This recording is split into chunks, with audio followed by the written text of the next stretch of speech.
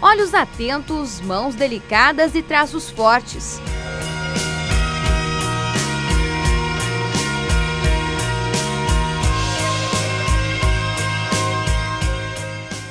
As obras de Lu, assim como gosta de ser chamada, encantam olhares. Os símbolos e desenhos criados para renovar cada tela recebem um toque especial da artista. E para divulgar o trabalho, usa as redes sociais. O Facebook acabou virando um grande aliado. Então eu fico o dia inteiro com o Facebook aberto, trabalhando com o Facebook aberto, é, falando com os amigos ou falando com o interessado o dia inteiro. E eu posto 100% de tudo que eu faço. Tenho um cuidado em tirar foto, assim, sabe, em tratar a imagem. Porque é, eu estou vivendo disso, é meu produto, então eu tenho que apresentar da melhor forma que eu posso, né? Cada vez que você posta alguma coisa, é, todo mundo vai ver. Pode não comentar, pode não fazer nada, mas eles vão clicar para dar uma olhada melhor o que, que, que se passa, o que, que é isso daí, entendeu? Só que durante o processo de inspiração, a companheira de Lu é a música. E ela já tem as preferidas. Cada melodia diferente desperta de uma forma a criatividade da artista. E é claro, embala os traços feitos pelas mãos. Eu tenho que colocar uma música e cada tela vai um tipo de música. Cada tela vai um, vai um, um artista diferente, um tom diferente.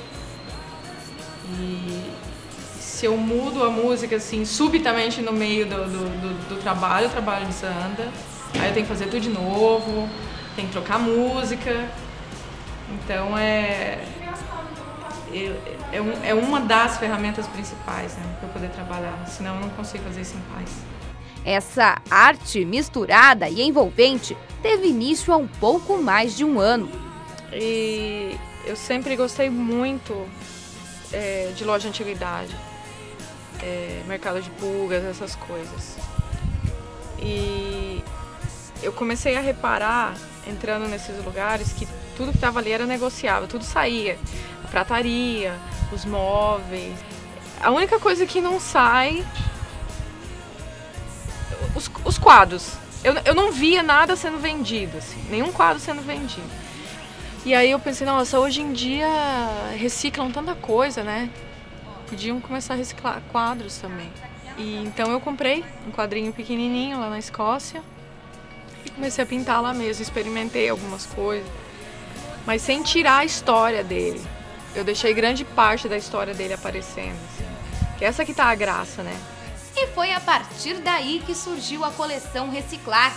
Cada quadro deste aqui traz em seu contexto uma mistura entre o ambiente urbano, a inocência do interior, o brilho que remete ao carnaval e o antigo.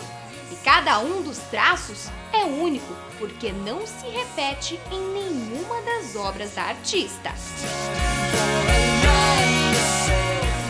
Pra mim, todo dia é um desafio novo, entendeu? Porque eu não, eu não consigo me repetir. Esse elemento que eu usei aqui, eu já não uso em outro quadro mais. Eu enjo, enjo, enjoei.